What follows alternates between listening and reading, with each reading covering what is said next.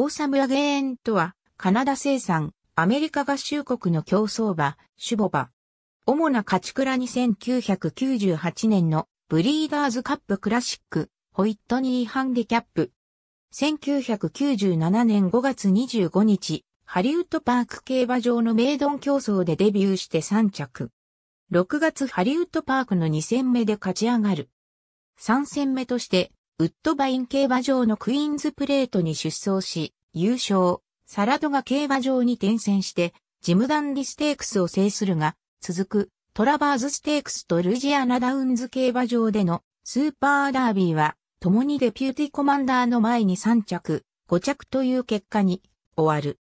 3歳の残りのシーズンは休養に当てられた。コバとなった翌1998年5月に、チャーチルダウンズ競馬場のアローワンス競争で復帰して、勝ち上がると、続く G2 競争、スティーブン・フォスターハンデキャップもシルバーチャームを下して勝ち、ホイットニーハンデキャップでは、テール・オブ・ザ・キャットを破って G1 競争初制覇となす。サラトガブリーダーズカップハンデキャップと G3 競争、放送オンゴールドカップハンデキャップをも勝って、重賞4連勝。1998年に入って、負け知らずのままブリーダーズカップクラシックに駒を進めた。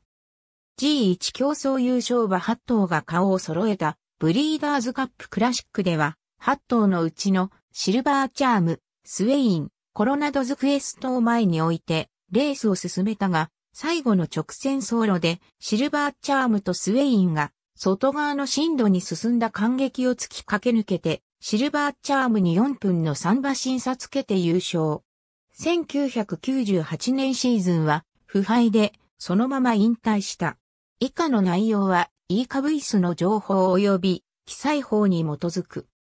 引退後は、アデナスプリングスで、種ボバとなり、2004年には、3区のゴーストザッパーが、ブリーダーズカップクラシックを優勝して親子制覇を果たし、その他ジンジャーパンチ、ウィルコ、ラウンドポンドを加えて、計4頭のブリーダーズカップ優勝馬を送り出した。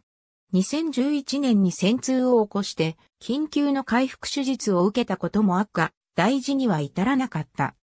2019年の種付けシーズン後に種ボバ生活から退いたが、その時点で重賞優勝馬38頭、そのうち G1 競争優勝馬は14頭を数えた。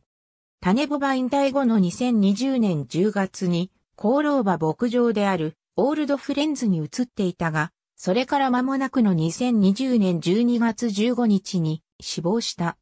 26歳であった。G1 競争のみ記載、注釈のない競争はすべて米 G1。ありがとうございます。